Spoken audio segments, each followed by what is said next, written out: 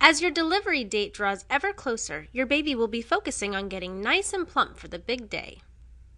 Sure, your fetus still looks a bit wrinkly, but that booming baby is almost two full pounds by his 26th week and should measure somewhere around 14 inches from crown to rump, which is about the size of an English hothouse cucumber.